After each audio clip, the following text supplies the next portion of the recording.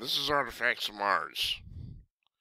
And what you're seeing has got me infuriated, so this video might be a little rough. I don't normally get this angry, but they're threatening the president, this company. Uh, it's some company caters to dykes, Dhvani, D-H-V-A-N-I. I don't care who they cater to. That's just for reference. But you can't threaten the president. Uh, you can't, you know, they show him hogtied and he's down on the ground. She's doing whatever to him. I can't even tell that much, but this is a threat against the president, which of course they deny. And we're up to me. I'm gonna spell it out to you folks at Dhvani. If it were up to me, and I told you this in a tweet, your CEO would be arrested immediately and be sitting in a prison cell awaiting trial.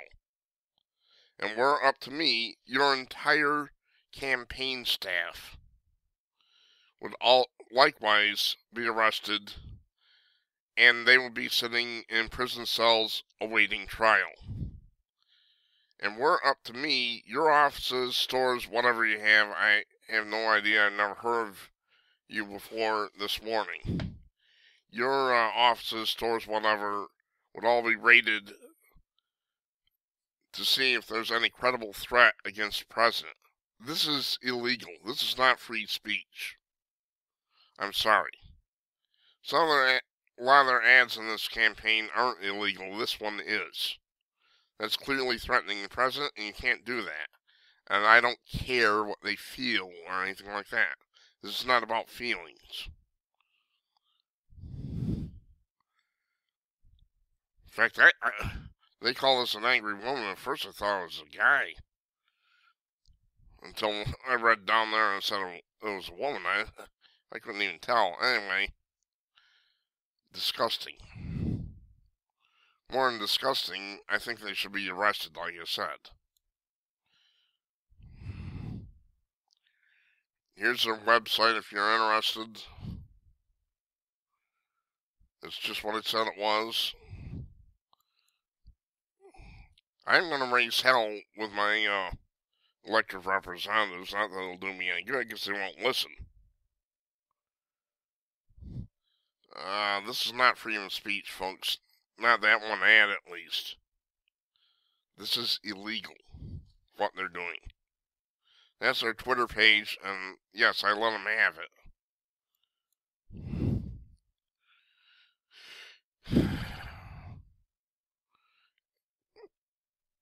This is just for reference. This apparently is their Instagram thing. I've obviously heard of Instagram. I know nothing and care nothing about it. I'm not on it. it doesn't interest me whatsoever. That's just for reference. That one's probably not illegal. Grossly unethical, yes, but not illegal.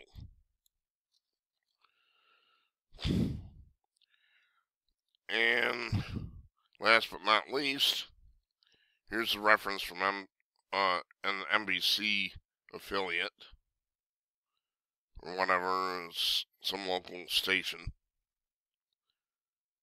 Yeah, there's an ad that's a lot smaller, but you can still see it's the same thing. They're holding, they're basically threatening the president.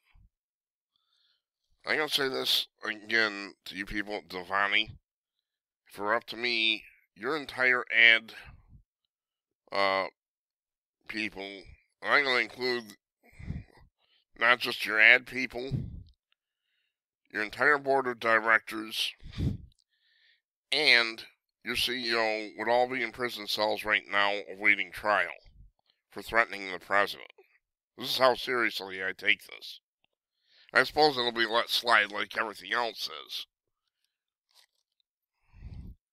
Uh, if Trump was really a dictator, like these idiots are claiming, this wouldn't be allowed.